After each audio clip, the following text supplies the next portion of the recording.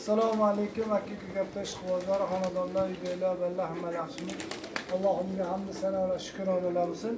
Mana ilyos akamga xudo xohlasa samarqandga ertaga alloh o'sha kunga yetsa chiqaveraman dedim. Inshaalloh samarqandga ilyos akaga chiqaveryapman. Kecha rossiyada turgan ukaxonimiz rossiyada turgan burxon aka samarqandlik akalar yana besh oltita akalar aka sotildimi dedini mana shu kattalar sotildi mana samarqandga chiqaveryapman. Xudo xohlasa allohim quvvat inshaalloh shopirlarga olib borib berishadi. Mana ilyos akaga olib borib berishadi samarqandga.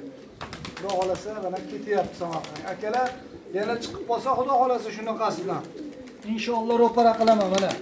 Toshkentlik akamiz ham so'radi samarqandlik rossiyada turgan o'g'illar akalar hammalaring so'radilar aka bizga chiqavering bizga birinchi shunday ketyapti turgan joyimda marg'ilon marg'ilon kecha borib syomkalar qilib maza qilib dam olib keldim. Akalar dachalarda maza qilib dam oldim.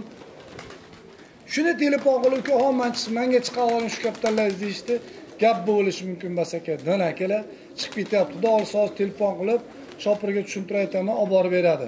Videolar mana bo'libdi mana bo'lib yallakda bosib qo'yaveringlar